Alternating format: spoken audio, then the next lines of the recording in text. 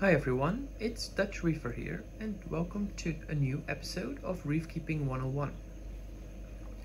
Today's video will be about keeping a Quoyi parrotfish in your tank, be it a reef tank or a um, fish only with live rock tank, since both are possible with this, uh, this parrotfish.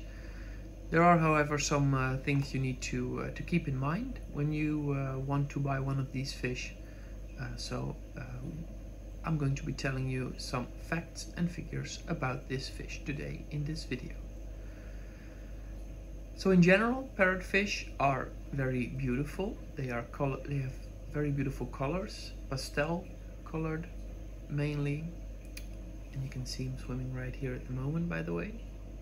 So keep that fish in mind.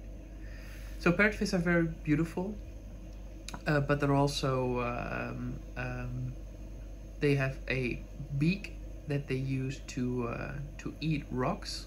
So keeping that in mind, these fish are uh, quite uh, uh, quite the wreckers inside a uh, inside the ocean. So actually, they munch on rocks and thereby creating coral sand, for example. So in general, these fish are not very uh, safe to keep in a reef tank. There's one. So the only exception is the uh, the Quoyi parrotfish that you can see in my tank as well, which is deemed reef safe-ish. So let's uh, let's go through this uh, through this beautiful fish. First of all, uh, it's a, a very um, beautifully colored fish, like I mentioned before. So um, a lot of people might mistake it for a for a wrasse, since these are also uh, very beautifully colored. However, it has some uh, very distinct features that uh, make it look quite different from a from a wrasse. First of all, as I mentioned before, the the beak that it has. so it has a very sharp uh, beak that it sharpens by uh, by uh, munching on on rocks and dead coral, mostly. Um, and uh, yeah, that's exactly what you uh, want to keep into account. So it's it's perfectly fine that they eat rocks, of course, if you have enough, if you have plenty. Um, it also likes to, to eat on the ceramic uh, wall of the of this tank. So on the back wall, the back pane that you can see right here. It will actively chew on it. You can actually hear them chewing on it as well. So you will hear some ticking noises um, because they are uh, yeah, actually uh, trying to bite small pieces uh, off of it. This is natural behavior, so nothing to worry about. However, it's something you need to keep in mind. Um, what they will also do is uh, try to uh, to eat your dead corals because of course dead corals are considered uh, rock by this fish um, the difficulty there is that even a coral that is in pretty bad shape might be mistaken for a dead coral by this fish so if your corals are in bad shape so for example this Stylophora right here then there is a good chance that uh, it will start munching on this coral as well and if it touches the part of the coral which is in pretty bad shape, then of course that will only accelerate the death of the coral in question. Um, so in general, if your corals are in, on, in low health or not doing very well, it might be a good idea to uh, remove the coral from the tank when you have one of these uh, beautiful uh, parrotfish, Quoyi parrotfish in your, uh, in your reef tank. Other than that, they are uh, super nice to keep they are very friendly towards other fish. They rarely show any aggressive moves to other fish. Uh, they are peaceful. They like to be alone. So you don't need to buy more than one. Uh, they have very uh, distinctive behavior. They're looking around the reef all day long, uh, looking for, for algae, since that is their main diet.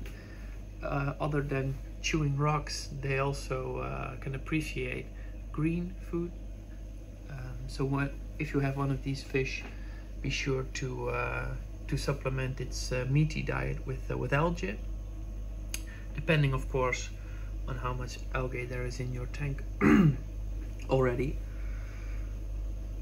So I'm, I'm actually feeding him uh, some of the uh, macroalgae that I have in my uh, in my sump, which is a Caulerpa taxifolia, uh, which is devoured by this this fish.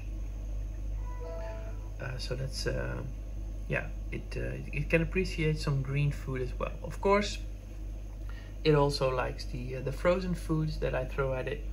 Um, since that's uh, yeah it's also on its, its menu this fish is a bit of an uh, not a specialist feeder it likes most things you uh, throw at it so so various people have various opinions about the minimum amount of liters or gallons that your tank should be. To house one of these fish the minimum is about 800 liters so I'd say 200 gallons. And some people say you need at least a 1500 liter tank that's about 400 gallons. Me I have a 1200 liter tank about 1100 in the display which is about 320 G uh, which uh, I think is sufficient for this fish it can grow a little larger but I don't expect it to uh, to become twice as large so for now this uh, this tank size is uh, perfectly adequate uh, for keeping one of these fish. But keep in mind that they like to scour around the reef all day. So if you put them in, put these fish into a very small tank, they will get bored and stressed uh, rather easily. Sometimes you can see it looking at the glass, at the glass pane towards you. Um, it's actually seeing itself in its reflection and it's uh, acting uh, weird to its own image in the mirror, you might say. So that's a funny thing to watch, as you can see right now. It does that a lot.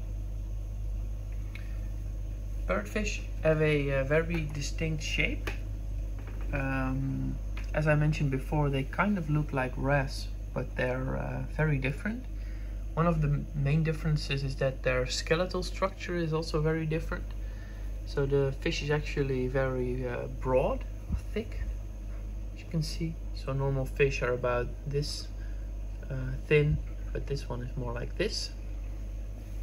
And that also makes it very easy to uh, overlook the fact that it's uh, not feeding very well. Uh, so you have to look at the thickness behind the gills to see if it's uh, actually in good shape or if it's uh, starving. When I got mine, um, it was it looked healthy but with some advice I got from some fellow reefers, uh, they pointed to the fact that it was actually quite thin behind the gills. Uh, so I really needed to feed him some extra, a bit extra to get him up to uh, the decent uh, weight again, or at least decent size again, because I don't weigh my fish obviously. Um, so all in all, I think these are uh, beautiful fish to keep. It's the only parrotfish that I know of that you can keep in a reef tank with live corals. It's um, it's behaving really well, so I've had it for about half a year now.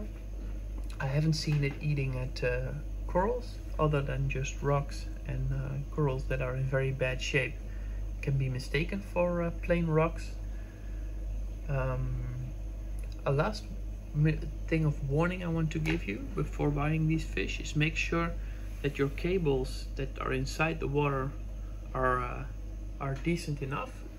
So if you look example at these pumps that are in here, once some algae starts to grow on it, your parrotfish will definitely start munching at the cables as well. So make sure that, your, uh, that you check your cables regularly, uh, you keep them a bit clean so that it doesn't accidentally try to bite them in half and then electrocuting the fish and possibly more in your tank which is of course uh, something uh, very bad if that would happen if that were to happen so please keep in mind that these are uh, real destruction fish they will munch at your rocks they will try to uh, to eat stuff luckily they uh, don't have a taste for uh, for LPS or other uh, corals. So it's just the the the rocks and the dead corals. So I hope you uh, you enjoyed this video. I hope you enjoyed this fish. Uh, I'm sure uh, I, sure do. So I'm very happy that I got this fish. I I didn't know if I should buy it or not, but uh, I pulled the trigger and I'm uh, very happy that I did. It's a beautiful addition to uh, to my reef tank, and I'll definitely keep it in here for the next for the next period of time because I'm actually very happy with no, the way it does. So thanks for uh, for watching. Um, I'll uh, see you in the next video. So for now, have a great week and uh, stay safe out there. Bye bye.